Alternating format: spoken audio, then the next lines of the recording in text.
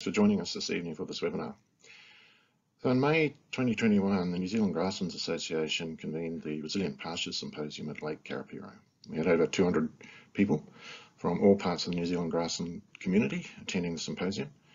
Uh, there were two days of paper presentation and a lot of discussion and debate about the state of our pasture resource in New Zealand.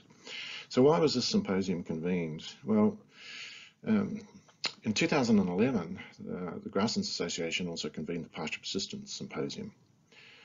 Um, and this was in response to emerging concerns that uh, in many cases in the Upper North Island, we were seeing, farmers were seeing pastures newly sown that were failing within two to three years. Um, and that we didn't really have a good handle on the causes of that pasture failure. We knew there were several factors involved.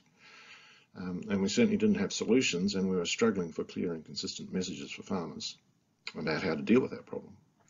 Now, 10 years on, um, it's clear that the pasture persistence problem is not solved. Uh, in fact, um, in some cases, it may actually be getting um, even worse. It may be spreading geographically. In the meantime, uh, what we have seen is uh, several other significant trends starting to strengthen. More frequent and severe droughts, um, aligning more closely with climate change projections for 2030 uh, rather than 2020, so almost uh, a decade ahead of where we might have expected to be.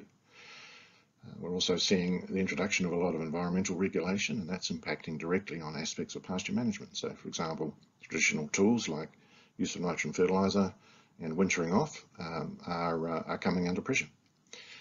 And thirdly, we have now got pretty clear evidence from on-farm data for the dairy sector anyway, that since 2005 or thereabouts, pasture production on New Zealand dairy farms has been at best static, in some cases actually declining.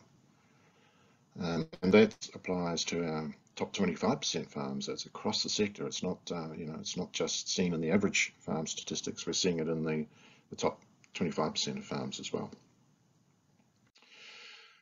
So when it came to uh, planning for a, a follow-up symposium, if you like, from the Pasture Persistence Symposium in 2011, it was clear a broader scope was needed. There were more challenges confronting uh, our pasture-based livestock farmers, and hence the focus then became one of, well, what is the true resilience of our pasture base in New Zealand? True resilience in relation to multiple challenges that are now confronting uh, our grasslands farmers, and hence the title of the symposium um, of Resilient Pastures and the focus on many aspects of true resilience, both physical, financial, and social. So um, there are many implications of those trends, uh, you know, those challenges, trends and those challenges that we're seeing. I mean, they're quite clear and obvious. They impact on productivity, they impact on management complexity, they impact on costs, they impact on uh, stress levels that farmers and their families and employees are encountering. Um, they have implications potentially for the competitiveness of our meat and dairy products in international markets. And there are down the track implications for land use change. And we're seeing that already with shift of pasture-based livestock industries, uh, farming businesses into forestry, for example. Now, most of those implications, in fact, all of them really uh, came under discussion at the symposiums, a lot of talk about where this is all heading. There are also some key messages that came out of the symposium. And so just to reel off four of um, the first was from the farmers particularly, that, and, particularly those in the north, their message very clearly was that climate, climate change is impacting on their farm businesses now. It's here, it's serious. It's not something that's coming in the future. We've got it now. The second clear message was that you know, all the delegates recognised that the science and innovation system that underpins our, our, our pasture-based livestock industries uh, has been significantly eroded over the last several decades to the point where now we have um, quite a quite a, uh, small um, capability, numbers of people, and also the expertise and experience of those people to help support future development of our um, of our livestock sectors as these challenges start to hit home. A third message, again from the farmers, was that they feel distanced um, from the science and innovation sector. Um, they feel that they can't influence the direction our research and development is taking, and they feel somewhat frustrated that they that they are seen as passive end users of technologies that others might develop that may not work for them. They want to be more involved in the development of solutions, and that's gold as far as this country is concerned, because um, farmers have a huge amount to offer in terms of finding viable, adoptable, practical solutions. And the fourth message that came out was that, well, look, we're not necessarily alone here. I mean, there are other examples that we can draw from overseas and in New Zealand uh, where solutions have been developed, and particularly where collaborative approaches to doing that uh, solution development have, have been implemented. Uh, communities, experts, if you like, uh, farmers uh, working together to find best um, solutions to the problems that they're confronting. So the organising committee for the Resilient Pasture Symposium undertook to pull together the, the key messages uh, that came from the symposium in 2021. So we've done that and, uh, and that is now published on the um, New Zealand Grasslands Association website uh, as essentially a position paper. Um, and that's in that position paper we've attempted to document the major findings with regard to the state of play with New Zealand pasture base and to make that known uh, to interested parties, and particularly, um, for example, government departments. So uh, where it goes from here, the content of the, the, position paper, the Greener Pastures paper, depends a lot on how we all uh, work towards um, building awareness, how we work towards exerting influence, how we work towards collaboration, cooperation, towards finding solutions.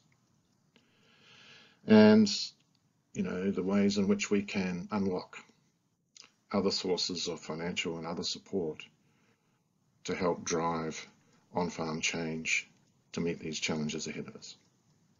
Thank you very much. Hi, everyone. All right, I'll just there we go. We should be back. Just checking my microphone's on. So I would normally say thank you, David, but obviously David's not with us. But um, just a reminder, I'll take that opportunity that you can ask questions if you wish, and we'll put them to our other speakers. Obviously, we can't put them to Mr. Chapman. You can put them in the in the chat function. We've left that open and public tonight. You can uh, if you know your way around Zoom, send a private question to to one of the speakers. Otherwise, it's public. And uh, but we trust you all, and you can all see each other's chats. And please, no arguments or fights in the chat. But we'll keep moving again to just to make sure we stick to our time. Let's move on to our first in-person presenter, who again I think won't be a stranger to most of you, uh, Graham Kerr of Barenbrug Seeds. Uh, welcome, Graham. Um, you're going to cover part one, the value of pastures, but um, let's mix it up a bit and throw you, put you on the spot. What is a resilient pasture? David covered a, a fair bit of it there, but um, you were going to, you can give us a bit of a summary.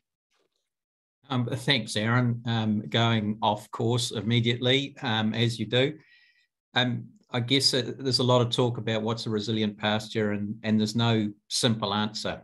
Um, I guess historically, a resilient pasture is one that gives good animal productivity and persistence. Um, but I, I, guess the, the purpose of the, the greener pastures was we've got these significant challenges to resilience. Um, climate change is happening, as David said. Um, it's going to affect pasture not just through extremes, temperature, drought, um, but also indirectly through uh, greater insect pests, for example.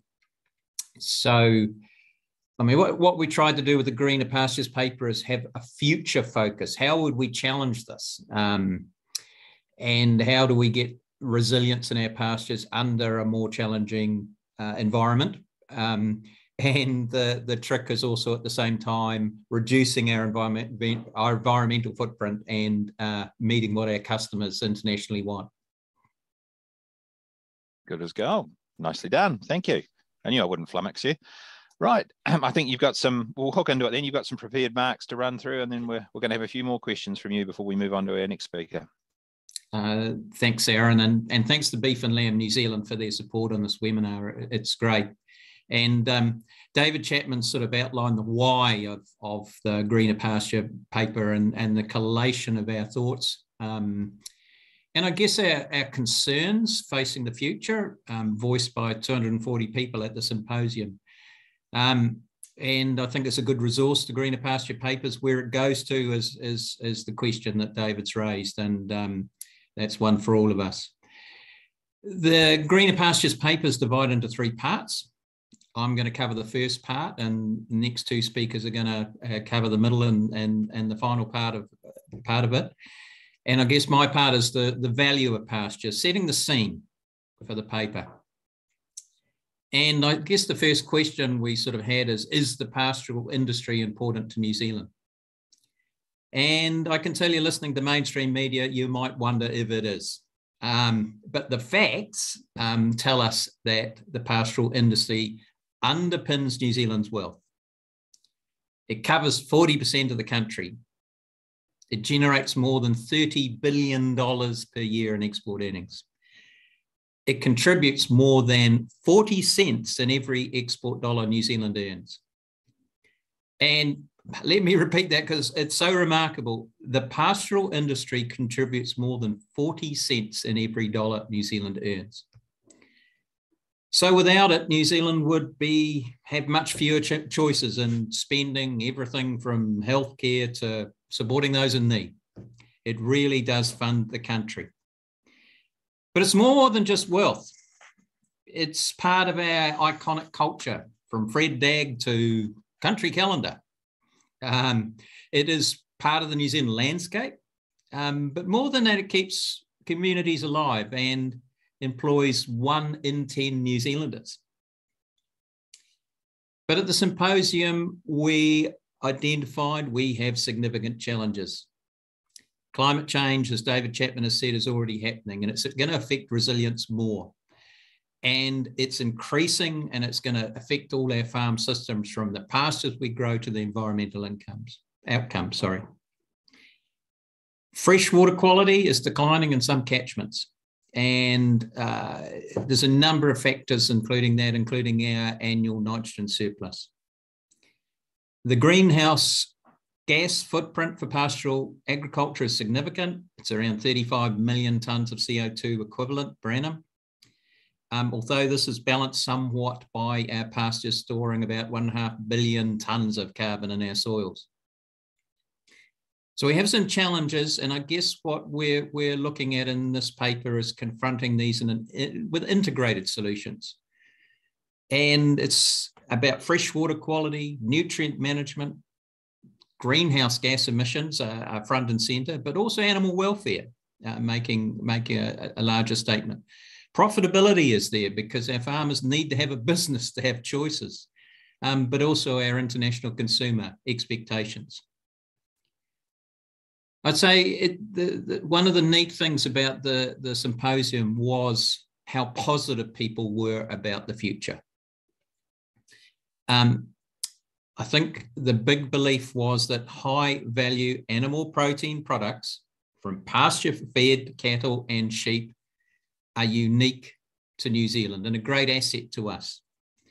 They have natural attributes, and we're world leaders in producing this efficiently. And we've got a real competitive advantage in our top quality grass fed fibre. The other nice thing was this positive outlook has been shared by the Primary Sector Council. And in the 2019 Ministry of Primary Industries report, which I'll very briefly summarise, uh, they wanted $44 billion more export earnings, significant improvements in freshwater and methane, and 10% more New Zealanders employed in primary industry. Sounds great. Better wealth, better environmental outcomes, more employment. Um, the key question out of the symposium was how do we do it? And I guess the emphatic opinion from the symposium is that we cannot achieve this without a nationally coordinated and directed action.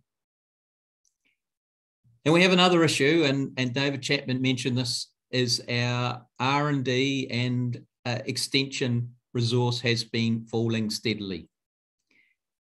It's estimated that public, industry, good, and commercial business RD&E amounts to just 0.23%, i.e., less than a quarter of 1% of our export earnings that the pastoral industry generates. So it's pretty pathetic. So, where does this leave us? The first part of the Greener Pastures paper that I'm talking about wraps up with a recommendation. This is one of five recommendations in the paper. To conclude, I'm going to read it out, but before I do, let's summarize. The pastoral industry is important and generates more than 40 cents in every dollar in exports New Zealand earns. It's also an iconic part of our culture, employs one in 10 people. We do have significant challenges, and solutions must integrate many things, including fresh water quality, greenhouse gases, profitability, and consumer inspections. Expectations, sorry.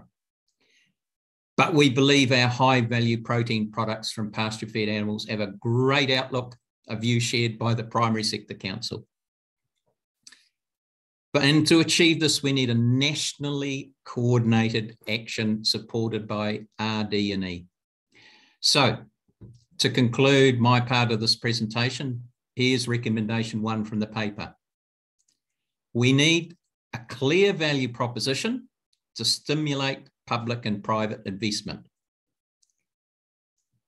And this has got to be at a farm, a community, a national level, at all levels, to deliver these resilient pastures that meet our expectations, our goals, environmental, economic, social, and that a collaborative, this collaborative response needs to be facilitated by government departments such as MPI or the Ministry for the Environment. Thank you. Thanks, Graham. So we have got time for a couple of questions. Um, one, just to put to you about, we're going to come on to a wee bit about um, where we go with this sort of thing, but you've talked a bit about what needs to happen, the aims, etc. Tell us your, I guess for want of a better word, your frustrations. You've been in this game for a while longer. Why hasn't it happened? Um, why hasn't it happened? I, I think, uh, Aaron, to me, uh, I think pastures are rather forgotten. Um, and uh, the, the, the funding, the science um, has moved to a short term basis. Um, a lot of it quite commercial. A lot of the, the, the, the, and other speakers are going to talk more on this, but um, we're just not really addressing things in a significant way um, to meet the challenge going forward in, a, in, an industry that is so valuable and underpinning our economy. It's it's I can't understand it. All right, and one of the ways forward identified in the paper, and you, you summed up the end that the collaborative response is facilitated by relevant government departments such as MPI and MFE. Um, do they have the the capability, the wherewithal to do that, and and or is there a risk that they'll just decide to do it themselves rather than than collaborate? We've seen a little bit of that lately. Um, yes, there there is, and I, I guess any way we do it would would be of an advantage. Um, I think some of the my other speakers are going to cover some of this a little bit more, Aaron, than than um, maybe I should. But we need to do it, right? We've we've got an industry that's facing real challenges, and um, from a range of directions. And, and climate change at a physical one is our, our, our, our, main challenge, but the environmental goals, the animal welfare, the consumer needs, the complexity of life, we've got all these things. And if we don't address this, we're, we're in problems with this industry and um, as a country. Um, I don't know what else we do with the 40% of land area because there's not a lot of alternative um, that's got a lower footprint than, than farming. Um, and it's going to take us quite a while to develop different technologies. So um, yeah, I think we've got a real challenge, and I hope someone does it. And I hope if it's done out of Wellington, it is done collaboratively, collaboratively because um, that model really works. We need farmers to be involved in the model um, because they're the ones who have to implement it and understand it. But we need extension agents uh, helping and we need scientists to actually give us the facts. It's it's it needs needs to be done at all levels, and that'll work really well. Excellent. Look, I hate to admit it, but I owe you an apology, Graham, because I questioned whether you'd get through all your material in the time you had available. And lo and behold, you have done it. So well done. Congratulations. We will move on and we're going to keep moving on. Um, please, if you want to put questions, stick them in the chat, fire them in. We will have some time at the end to come back.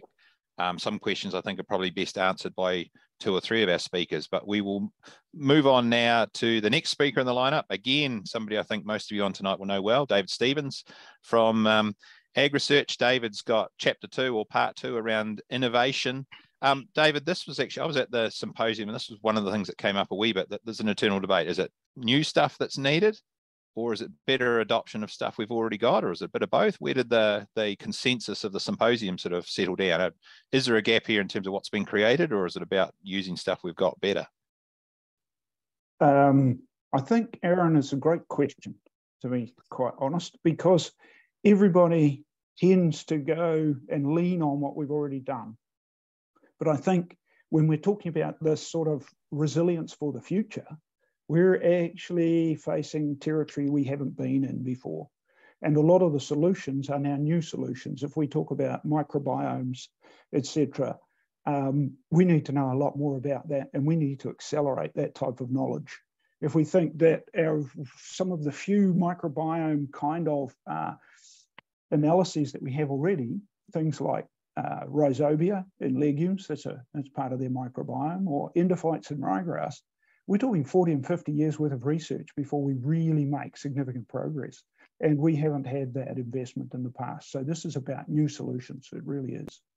So we're, we're um, on a diminishing, we've been riding for a while effectively on sort of investment in the past. Is, is that sort of the, um, a lot of the progress that we made in the 90s and the 2000s through to now all was built on the back of the lessons that we learned in the 60s, 70s, and 80s.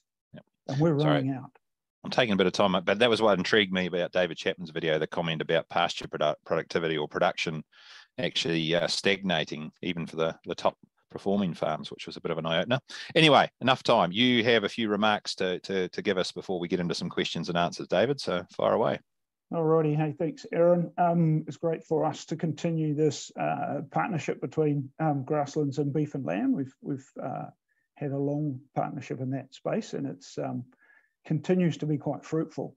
I suppose where I wanted to start was um, Graham was talking about pastures underpinning our economy, and I want to talk about how science has to underpin our pastures. And we can, and as Graham said, we can't get away from pastures. Um, we've got a lot of it. It's a very valuable resource, and it's a very unique resource. And so we need to figure out how to provide these solutions. And while we've been concentrating on productivity in the past, uh, that's because that was the need. We had to make sure that our farmers were economic, that they could pay for their children's education and could pay to support their communities. We, we now have a different set of solutions. And again, as Graham mentioned, we've eroded capability to uh, address those. So, so we, for practice change in the future to meet all of those regulatory and consumer-based requirements, we need to have some decent underpinning science. So I suppose the challenge that was brought up is, are we resilient now? And as Dave pointed out, um, maybe not. Maybe we are losing our edge in this space. Um, and there are some good reasons for that. But one of the things that we don't know, and as he said, well, we've got evidence in the dairy industry that pasture production is stagnating, and we've got a tiny amount of evidence in the um, sheep and beef industry that that may well also be happening. In fact, we're losing pasture in some spaces, but we don't have a national inventory of our pastures over time. So we're actually a little bit behind the eight ball in terms of being able to um, understand exactly where we are. But of interest to our um, delegates at the uh, Resilient Pasture Symposium was about what technologies do we need in the future? Um, is it plant and animal genetics? Is it soil microbiology? Is it digital technologies? Is it some sort of widget, gadget, or smart tool that we need? And interestingly enough, we covered all of those as we talked about it.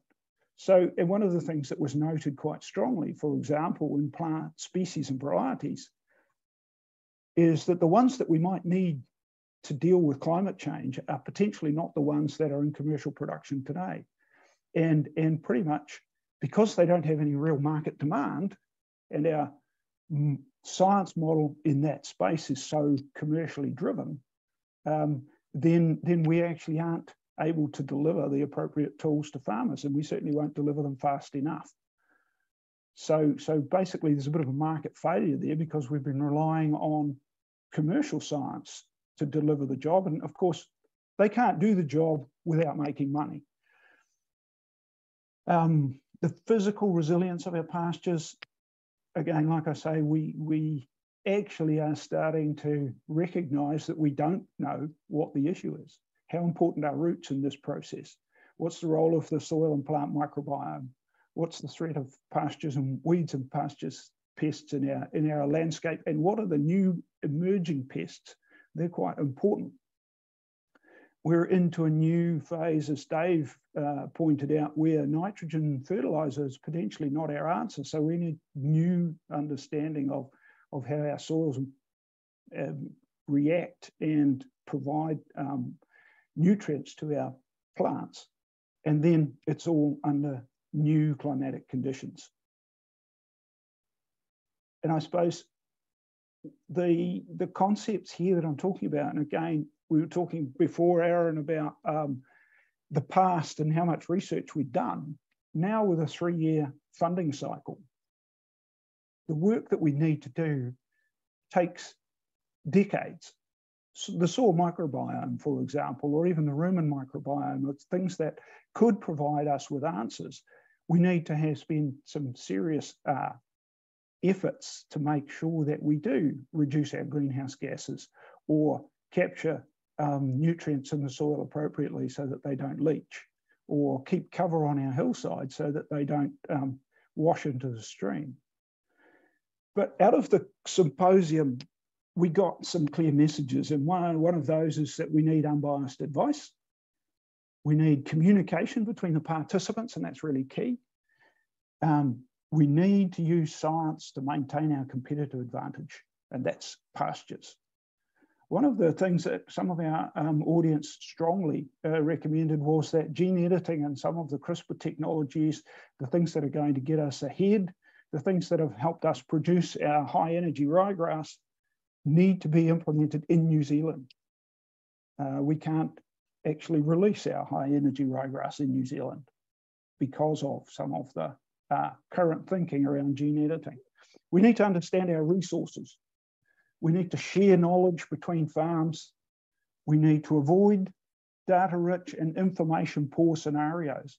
So even though our farmers are thinking that they want drones and, and satellite imagery it needs to be delivered as information, not as data. Um, they're talking about the disconnect between farmer and the science and the value of science. And then actually, if we really want science to be the leader in this, that we actually need on-farm champions of those sort of things. Um, and I suppose their final thought was actually the financial systems that we have, the people who provide finance to the farmers, actually need to support the need for change on these farms to make sure that they have the wherewithal to be able to make change in a reasonably safe environment. So that's uh, that's a bit of a summary of where we got to, Aaron. Thanks, so, David. Um, do we have any more any more questions? Yeah. Got a couple of questions here, and there may be more come in. We'll have a, a bit of a round up, a round table at the end if there are more come in. But one, um, just digging into that a wee bit. So you've touched on it, David C touched on it about the stagnating or possibly even in the case of sheep and beef, I think you said declining pasture production. Um, people talk about solutions, but what's the problem? Why is that happening? Um, that's a really big question. Yeah. But we'll, we'll summarize. You've got two minutes. A, a, couple of yeah, a couple of moments, shall we? Um, one one is certainly um, the influence of changing climate. And so we are seeing um, more intense uh, rainfall events further apart. That means we lose more of the rainfall into the rivers. And it means that some of our more vulnerable slopes, um, particularly our northerly and easterly slopes, um, are actually getting drier, especially in hill country. So that, that's part of the issue. The other part of the issue is that we are using grazing technologies um, and techniques that are potentially 50 years old and developed under different times. And so actually our farmers are running out of tools with which to manage some of these uh, potential dry spells, if not droughts, um, and still maintaining that resilience of pasture. So there's a, a couple of pointers in there. All right. So just quickly following on from that, um, where to from here in terms of this part of the of the green paper that you're talking about? What's the next step for this one? Well, this is this I suppose is about us revisiting and making sure that uh, what we get is business beyond usual, making sure that we're doing something different. Um, and so one of the one of the outcomes from this um, workshop um, was that a national inventory of New Zealand's current forage base performance trends, insect pests, weeds, diseases, etc., actually be created and maintained so that we can track what's happening over time. And as you said, you know, we've got some information that it looks like things are changing, but um, we actually haven't got enough good information on which to then start um, guiding those future innovations and future R&D spend. So that, that's quite critical. And then I suppose the other part to that is making sure that um, MPI and, and other entities, both public and private, start to um, fund things like regional demonstration discovery networks so, so that we can actually start um, addressing these problems at the coalface. It's I won't call it community science, but it's almost a community science approach where you get the opportunity to link the farmers and the scientists back together to create uh, some new answers for the future. Awesome. Thanks, David. Look, uh, just keeping on time, there's some more questions for you, but we will we will come back to them. So I'm going to move on. And okay, thanks, um, thanks, David. Somebody else who um, I think anybody around Grasslands knows well, certainly a, a key part of the organisation on the exec and the executive officer, Marie Casey from lots of different hats, Marie, but I think PGG Wrightson's the main one you wear. So um, you're going to cover, I think, section three, capability. Um, and again, I'm going to throw you in with a question right at the start. And I, I actually, I think you you know the answer to this one. It was one in the discussion. I don't know if it came from you, but uh, in terms of capability, we've got a pretty clear example already at Massey University. I think we were discussing um, where they're struggling with this whole capability issue. You know the one yes, I'm referring to? You do. Good. Yes, I do. Thanks, Aaron. Um, yeah, just to answer Aaron's question, um, Massey have been looking for a professor in pastoral science, something, I think it's a professor, um, somebody that, it, it's an area that, that you know, we proud, pride ourselves on being experts in, and it's a role that they're finding very hard to fill. And that is a, that's a huge red flag if we can't fill those positions and yet we tell ourselves we're leading edge in uh, the space and not just struggling, but two years, I think they've been struggling. That, that's what, you know, I can't confirm, but that's what we've heard. I mean, I, there, there's plenty of examples um, in CRIs where they can't fill positions and, you know, the money disappears and the, the capability shrinks. You get less FTEs for your money. Um, Okay, so for those of you that only ever see me at Grasslands, um, I've actually been a farm consultant at PGG for over 20 years. Um, so have a pretty strong interest in farm systems research and behaviour change. Um, so I guess that I get to, to be the tail end Charlie and um, I have to thank my all my co-authors, but especially the two speaking today who've covered off an awful lot of the points I was going to make. So that was good of them, but this will be just reinforcing.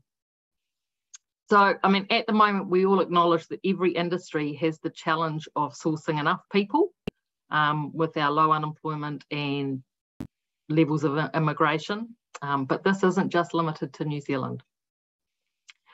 But the point is, what does this mean in the context of this discussion around our resilient pastures? During the symposium, the farmers kept asking the questions, where is the research? Who's going to assist in the challenges thrown at us? You know, and that's climate change. Um, it's all the things people have mentioned. Dave, in his introduction, highlighted that capability and capacity are critical weaknesses to address. So when the farmers asked these questions, you know, we found ourselves a bit stuck. We didn't really have answers.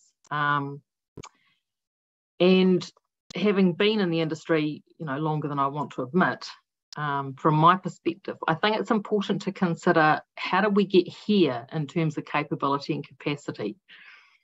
Um, looking back and thinking about what has changed in the last 40 years provides some important lessons that may help us to rebuild capability if we choose to take them. There was a pivotal, pivotal, pivotal policy decision around the removal of subsidies, or what we all know as Rogernomics, between 1985 and 87, which has had significant impacts on New Zealand agriculture. On the positive side, it's been credited with increasing the innovation and uptake of research and best practice into New Zealand farm systems, um, improved environmental outcomes through reduced stocking rates, uh, improved irrigation and fertiliser use, um, changing marginal land use, i.e. marginal lands reverted to scrub or forestry or conservation land. This is the story we pride ourselves on as, as we you know, became the country that exported on the basis of no subsidies. However, it's not all been positive. Along with, this, along with this was the move that we all recognise to a market or commercial model in science, as well as many other areas such as health and education. What this meant is that once the drivers became commercial, the focus moved strongly to supporting production. Um, and Dave, David Stevens highlighted that, that farmers have had to be product, product, productive and profitable. Um, However, this is quite limited um, because that means we support a limited number of pasture cultivars. We support fertiliser use and management and chemical inputs. They're the profitable parts of the system. What's followed is that we've built significant technical capability, and it's good capability based on these products. The farmers would question whether it's unbiased capability because they're selling a product and supporting a product. Um, however, we've got to remember that pasture renovation is 5 to 10% of our agricultural system. And at the same time, we've gradually eroded our capability in the whole farm system that encompasses the remaining 95% of our base, the hill country, the, the, the extensive properties, things like that. Then there's the impact on our science and extension capability and capacity. Prior to 1992 and the formation of the CRIs, New Zealand had a strongly connected science and advisory model. In fact, Aaron and I both sort of came out of that. Scientists and advisors worked closely on the discovery and dissemination of many of the first principles of our pastoral science. This in itself built capability across a wide range of people, including farmers. They were involved. This formed the very strong base we've since used to improve the productivity and profitability of our farm systems. However, where does that leave us now? It leaves us with where we are now, a shrinking pool of agricultural scientists and consultants, no wiggle room, i.e. time and staff to train people within CRIs or consultancy businesses, a lack of farm systems expertise, which in a perfect world is based on many years of experience as well as expertise. Uh, we're left with a reactive response to any regulation. And an example would be the current proposal for farm planning and audits, which is going to need lots of people. Are they going to be farm systems or are they just going to be environmental advisors? Poor or no understanding of farm systems at a policy level, which is government or regional council uh, and other places. A recent example we've had down here would be winter grazing in the new rules, um, but it could be something you confront in the Environment Court or when you're discussing developing policies such as He Waka Eke Noa. In summary, the human capability across the pastoral sector today presents a roadblock to meet the challenges that we're facing for the next 20 to 50 years. You know, and David's mentioned the time frame in the research realm. We need a lot of people um, to meet the expectation of the growth that um, Graham highlighted, as well as meeting the demands that farmers will face from the regulation changes. Did you have a question for me, Aaron? Oh, you're muted. Jeepers, that's an amateur mistake. Um, okay, um, that's the issue. Um, did the green paper, grasslands, grassland trust, the symposium itself talk and think about what we need to do to to build that capability? How we get those people on the ground with those sort of holistic skills you were talking about? I think well, at the symposium it was more limited to the questioning. Um, the conversations we've had since as we built the green paper highlighted um, some of the issues, I think, probably more clearly. And, and it comes down to we needing needing a discussion on how to build science science extension and more to meet the needs. But it's not a new conversation. Um, there was a report to MPI in 2014 on future capability of the sector, and it and it highlights that we need, you know, skilled workers um, those with a degree or higher, and they need to be in critical areas. Um, we can now, after, you know, in 2022, we can now add other skills on farm regulation, farm planning, environment, water, nutrient management, biodiversity, greenhouse gases, social license, and the overall challenge of climate change. So, um, yeah, there's a lot. There's a lot of capability we need to build. Um, so the um, next question, sorry, do you, you have more on yep. that one? No. Okay, no. The next question, and I'll make this the last one for now. We'll come back at the end. We have some questions, but yep. um, you mentioned it. I'm a child of the, the sort of mid 80s deregulation. I actually wasn't part of the MAFTEC, the Free Advisory Services Division. I was Ag New Zealand. You know, it was all cut and thrust and um, yep. the market forces. So um, why not leave it to the market to resolve things? You know, David mentioned, David two, David S mentioned that um, we've got to this point on the back of previous research. Now we're seeing a, um, a, tapering off. So therefore, all of a sudden, there's a need being created. We didn't have the need because it had been resolved. So the need's there. The market will resolve it. Why don't we just leave it to the market to sort it? I don't think I don't think the market will support it. Um, I think I think we're resting on our laurels if we think so. Um, we're kind of running out of the the steam that that you know historically we've built that capability. Um, I, I, dread to say it, the the old um, you know we're all growing old and the capabilities you know aging out. But it does take significant time to develop a decent level of farm systems understanding. It's not a you know it's not a three year degree and into into a job. So it is it is you know further work, further um, building capability, and I think uh, there's a lot of assumption within government and and uh, programs. You know whether it's um, sustainable farming fund or whatever it's called now, and they that they assume that these rural professionals and science scientists are there to do the job to help assist. Um, and we've already recognised that market failure has led to a diminishing number of these people. So without these people, um, we're going to get the type of people that answer regulatory questions. We're going to get environmental people that do one job, just the same as we got technical people that can do fertiliser. Awesome. All right. Thanks, Marie. Well done, We'll. Um, I think you, you answered that one well. I've put you on the spot a wee bit there, but we will. There's a couple more questions that I think we'll come back to, though. We're going to keep going through our speakers and see how we go for time at the end. So, I'll uh, the king of the Grasslands Association. There he is. He's unmuted his line. Warren King again. I don't think he needs um, much introduction, if any at all. Welcome along, Warren. I don't actually have a question to put you on the spot because you've got the enviable, or uh, maybe you're just last to put your hand up for a for a role tonight. You've got the job of um, sort of summing it all up and talking about the the key actions that were recommended as part of the the green paper, and knowing you probably anything else you want to talk about tonight too. So the floor is yours. Yeah, thanks, Aaron. And um, I would have appreciated the opportunity to uh, to not respond to any question you care to ask. Um, look, I just wanted to say um, right at the outset that the Greener Pastures discussion paper um, is pithy. It's only 13 pages. It, uh, it contains the, the, um, uh, the, the, the collected, condensed thoughts of two symposia held over 10 years, uh, as well as the inputs from, uh, from uh, I mean, the, the authors. And I just want to single out the authors who didn't get airtime tonight, Mike Dodd, Caddo, and John Caradus, also really critical parts of the development of this document.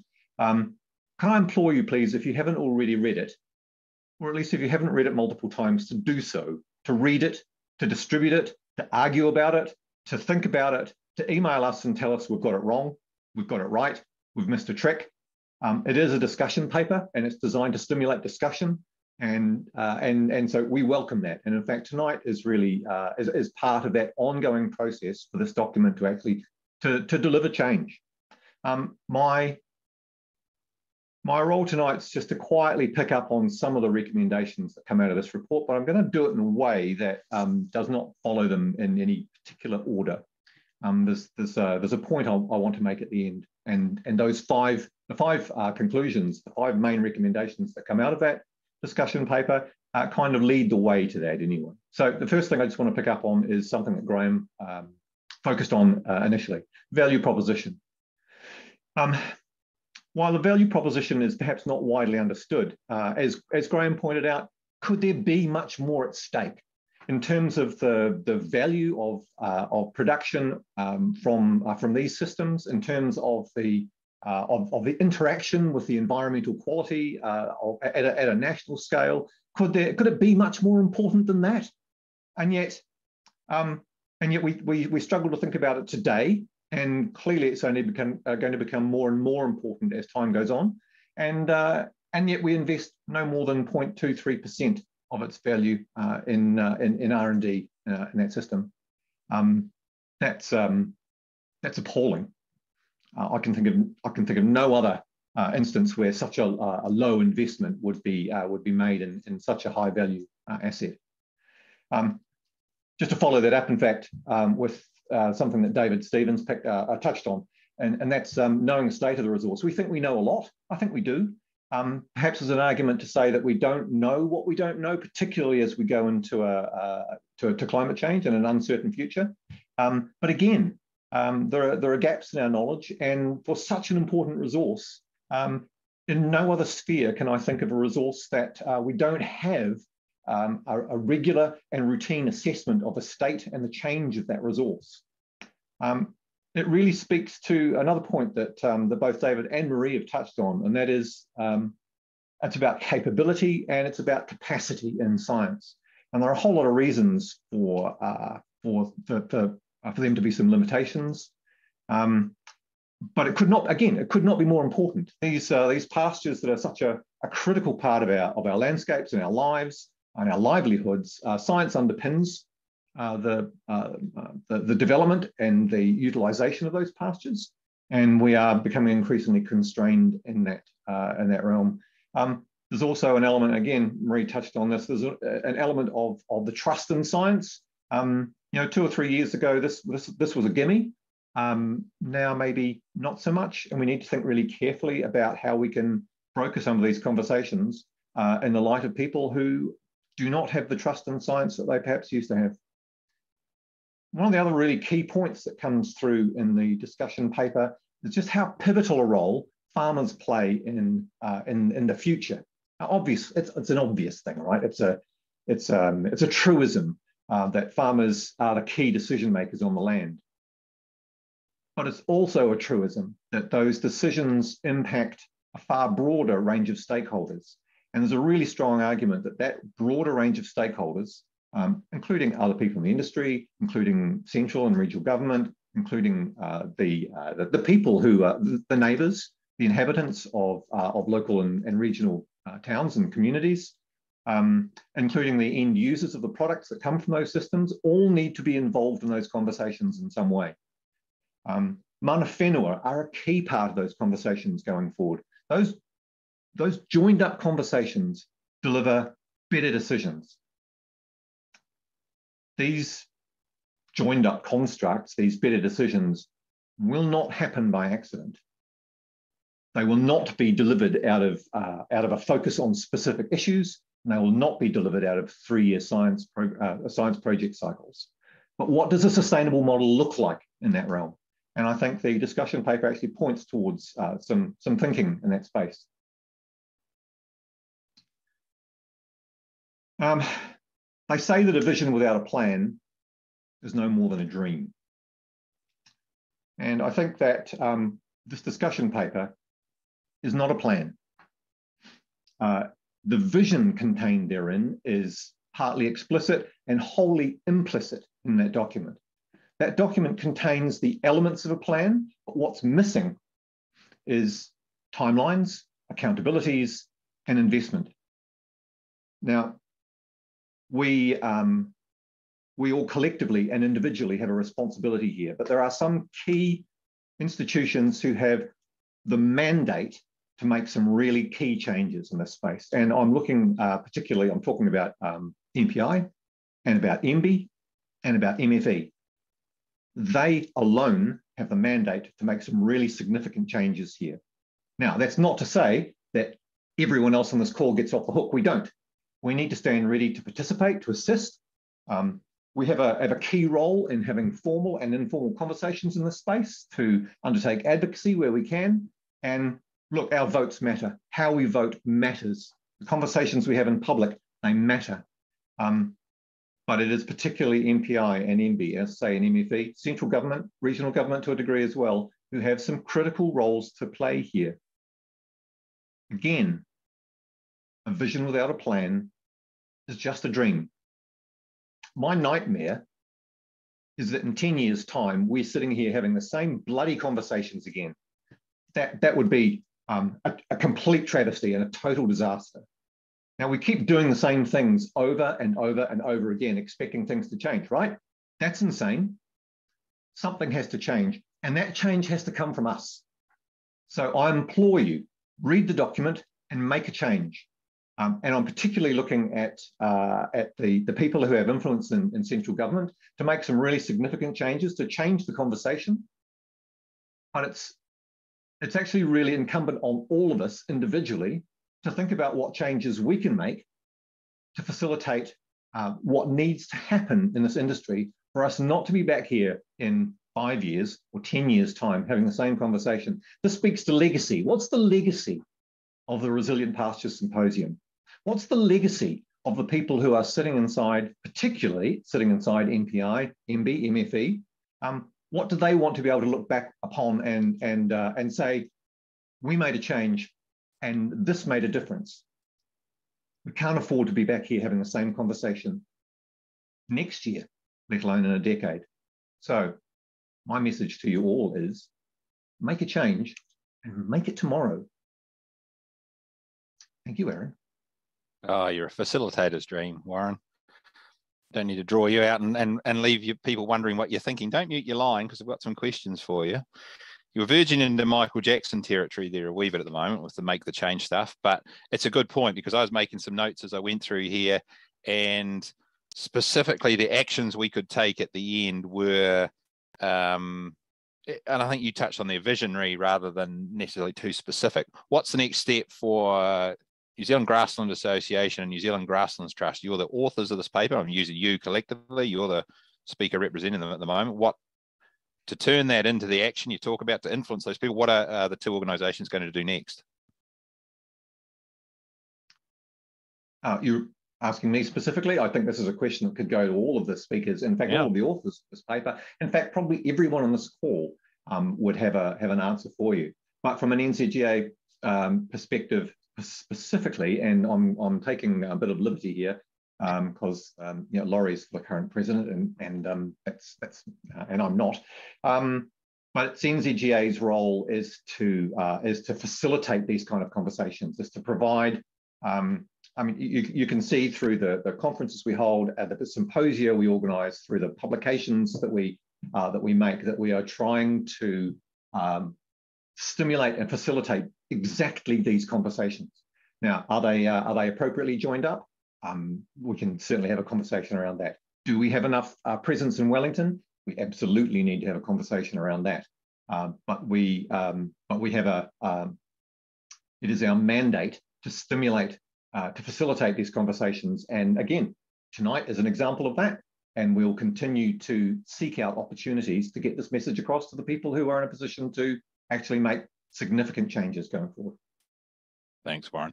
So look, Laurie is on there. I don't know whether Laurie, as both president of Grasslands Association and also a farmer, wants to add anything. Laurie, you can have a think about that. But just while I'm on, any of the rest of the speakers tonight want to add anything to the answer to that question about where to from here, what the, the call to action is, what Grasslands Association, Grasslands Trust and its members do from here? Marie. I could say no. You've unmuted um, your think, line, so. I think um, Warren's right. It is it, it is on everybody.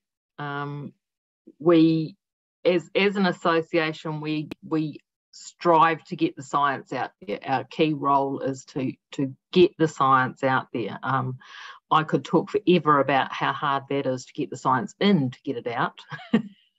again, the capability question comes up. There aren't the people, there aren't the reviewers, that you know, um, people are busy, they've finished their work, they move on. So um, that has been our role and, and we will continue to do that. And we and I guess we're using the technology more now, um, things like this webinar, YouTube videos to, to widen that social media, just to widen that push. Um, Yes, because people need to find the science. And if they find it, they'll read it. So that's our role, simply. Thanks, Marie. Great. David and Graham, whether you had anything to add to that? Uh, yeah, I can add a little to it, Aaron. I mean, we, we have the um, New Zealand Grassland Trust, which is, sits alongside the Grassland Association, um, mostly comprised of ex-presidents, uh, place where presidents go to um, express their real opinions. No. Um, but the point is that that uh, that network does provide again provides the the personal touch to uh, when we did the Hill Country Symposium, for example, we had Gavin Sheath, who was able to to go and talk to people in Wellington and and be able to um, provide them with an appropriate uh, conversation about what we're trying to do uh, to, to make sure that we get the conversation started.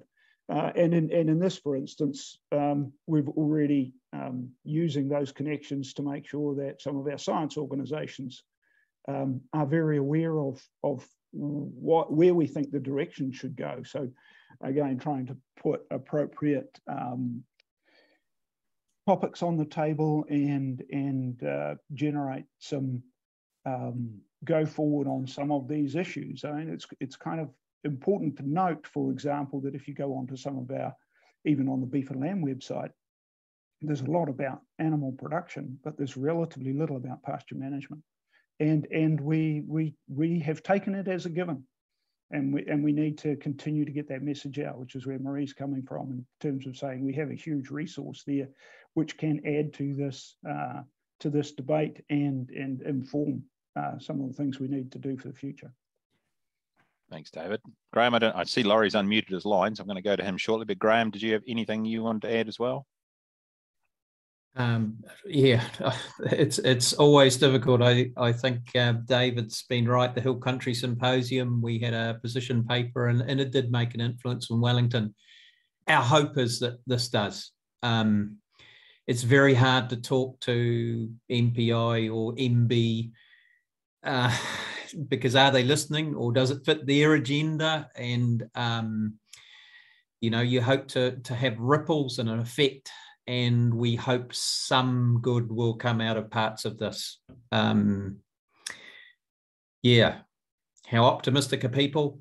It's a good question. Look, um, um, Laurie, you've unmuted your line. Did you want to um, say a few words? No, no, just a message came up. All right. No, we were just they were they mentioned your name a couple of times, Laurie, but as um, president and as a, a, farmer, whether you want to add anything. Um, mm. we are a bit over planned starting time. I've just got a couple of questions. Um, if you have to go, um, feel free to sign off. As I say, we're recording this and we will stick it up, but I'm just going to wrap up with the last couple of questions. One that actually came in in chat from Ron. I'm not sure who that is, but thank you, Ron. Um, and I don't know which of our speakers want to answer it, but the question is rather than look to government to change, how can we leverage farmers' needs for resilient pastures into increased farmer investment, including through their levies, such as Dairy NZ and Beef and Lamb New Zealand, I guess, in the core science and extension that will take New Zealand ag to the next level? Who'd like to address that one? Can I start, please? Please do. I'll have a go. Um, it's, it's, you, it's a great thought. It's a great thought that uh, farmers would want to step forward and put their hands up. Um, but to give you a for instance in this space, this is just this is just to give you uh, some background. Um, Beef and Lamb New Zealand uh, invest what four or five million dollars a year in research and development. Aaron, Sounds about Um, right. our commercial seed companies invest how much, Graham? From, from memory, I think that PGG Wrightson Seeds invest something like $20 million a year. So, Yep. and, and in that, for instance, they are still working on endophyte, ryegrass, and white clover. Now, if you want other um, cultivars or you want other species addressed, that's a very, very significant amount of money. And, and while I, I applaud the effort to suggest that the farmers would like to step forward, a lot of the issues that we have and the problems that we're trying to solve are national issues, which is why we turn to the national government to at least lead the charge and lead the coordination. We're not leaving any of our um, our industry partners out of this conversation. That is really, really key. It has to be a, a full and combined combina- um, conversation when we are trying to create answers for the problems that we have. Thank you. Thank you, David. Warren. on the principle that um, having great ideas is contingent upon having a lot of ideas, 90% of which will be rubbish, some of those even might stimulate some thinking. I had a dream. And uh, and in the in the way that uh, that uh, you just talked about before, Dave, actually, um, with uh, with Beef and Lamb New Zealand um, using the uh, and leveraging effectively farmer levy money uh, in the uh, in, in the meat space, Dairy NZ, of course, relying on uh, on uh, on, a, on a milk levy to do the same thing. We all know that the loss of the wool levy was completely bloody um, short-sighted and, and bonkers. Um, why don't we have a grass levy? For every blade of grass that's eaten, a fraction of, of a fraction of, of, of a cent then goes into a pool specifically for uh, for um, research and development in in um, uh, in this kind of almost in, in the pre-competitive space in, in pastures. Now, um, for one thing, it uh, it it enables rather more than 0.23%, hopefully, uh, to be invested in what is a critical resource. And for another thing, it signals to central government that farmers themselves recognise that this investment is critical. Now, it'll never fly, will it? The EID might be the issue there, Warren. Um, thank you very much. I don't know whether anybody else wanted to answer that question. I've got one more question before we wrap up. If I could just just add to um, coming from a commercial perspective and just uh, agree with David Stevens and um, we, we we know the numbers of the industry. Perennial ryegrass are about 4,200, 4,500 tons sold a year of perennial ryegrass. We're completely preoccupied with it. Um, Cocksfoot's risen dramatically to almost 250 tons. Um, so compared to four and a half thousand, I mean, we actually spend too much time breeding Cocksfoot for the small size of the market, and our program is too big in Cocksfoot. So that's the commercial model. And that's the issue that we've got with some of these things that are beyond commercial. They're strategic, and, and it's about the wealth of New Zealand. And um, I think we as citizens get it. Um, it's just I don't know what happens when you get to Wellington. It's different, different atmosphere or something, or maybe there's something else in the air. Anyway, Thanks, Graham. Bring back Wana, I say. We've still got a bloody demonstration paddock of that on our farm. I think so on 40 odd years ago. Bloody stuff, you can't kill it. Um, last question, and this is again, I think one for the panel as a whole. So there's that concept we talked about um, big gnarly problems, need sorts of solutions. But one of the keys I think that's always underpinned this in New Zealand agriculture has been that saying none of us are as smart as all of us. It's been that collaborative effort from um, Blue Skies thinking to um, literally out under blue skies farming. So how do we get that connection between science and application, uh, between research and farmers? How do we get that back, build it, water it, grow it when we've been told that farmers feel that it's died, it's withered, it's fallen apart?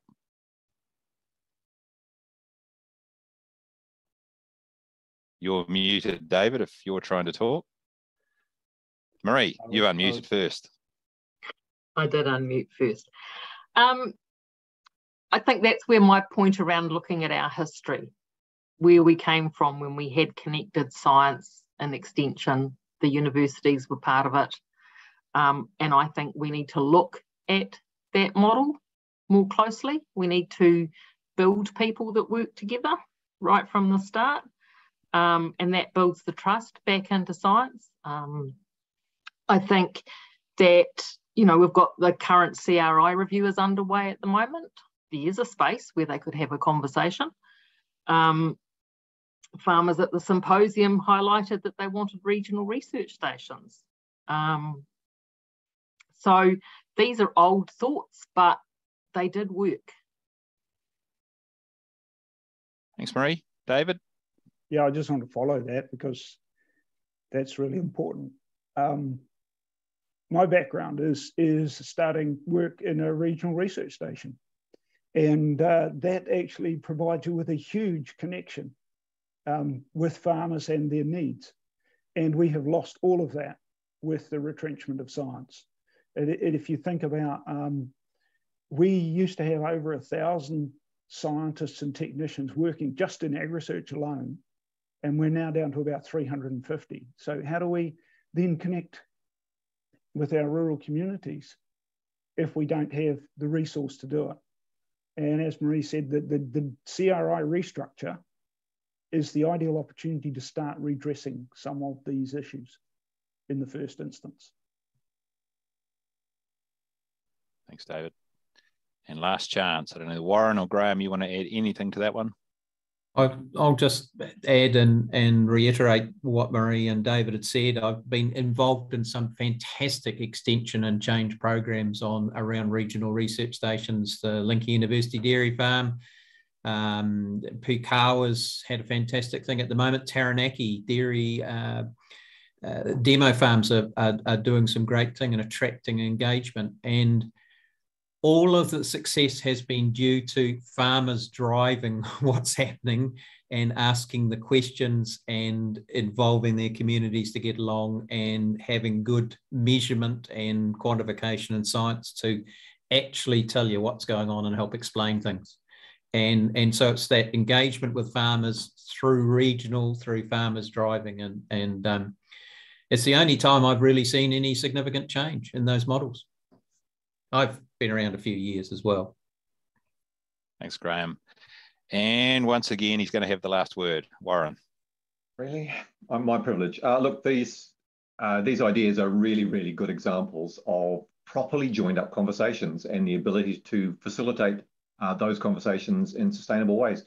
Maybe there are other examples. I'm sure there will be other examples as well, but it's just such an important part of uh, of the of the way that this industry will need to uh, cooperate and to collaborate uh, as we as we face these um, these increasing pressures. So uh, who's who's going to who's going to who's going to pull that lever, and and how do we um, how do we involve them in the conversation and involve ourselves in that conversation as well? That's that's kind of it's an open-ended question. There are lots and lots of potential answers to this, but as I as I made the point right at the start, this discussion paper is just that. So it's really important that this conversation continues. Brilliant. Thank you, Warren. And all I can add personally to that is we certainly need more people trained to bloody well facilitate webinars for Grasslands Association. Let me say that for nothing. Um, but on that note, we will call it to a close. Thank you very much to, to all of you who've joined us tonight and stuck with us a wee bit longer than we, we thought we might have gone, but I think um, the discussion has been well worth it. Thank you to Marie, uh, to David, to Warren King, uh, to Graham, and to David Chapman, who couldn't be with us but recorded uh, uh, his video for being with us, and the other authors of the paper. And I should have had it in front of me so I can remember, but um, we've put the link there in the chat. We'll put the uh, paper in the blurb of this video as well, so you can find it as well. And last but certainly not my uh, least, I just want to say thank you very much to Lucy Murray, who um, you haven't seen tonight, but she's been running the whole uh, software behind the scenes for us to make sure it works smoothly. The registrations got out to you and everybody got joined and uh, running the recording. So thank you very much, everybody. And uh, we will hear from you soon. Good night.